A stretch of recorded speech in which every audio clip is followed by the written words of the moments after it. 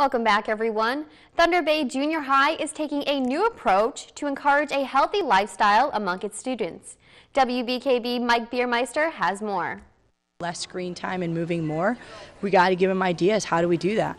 A common dilemma most schools face, but for Thunder Bay Junior High, they found quite a unique solution Project Healthy School an all school assembly that looks to inspire students to move and choose a healthy lifestyle. They're at the age where they go home, they can make decisions about what they eat without parents involved. So we're hoping that we can teach them a few things that they could do to make their own decisions.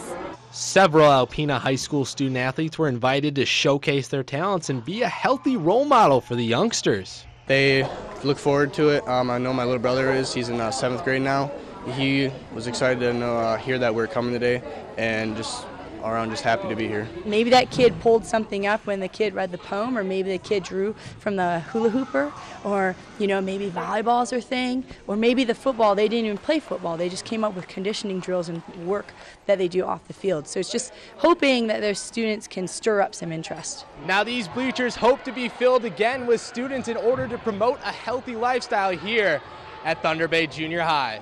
For WBKB News, I'm Mike Beiermeister.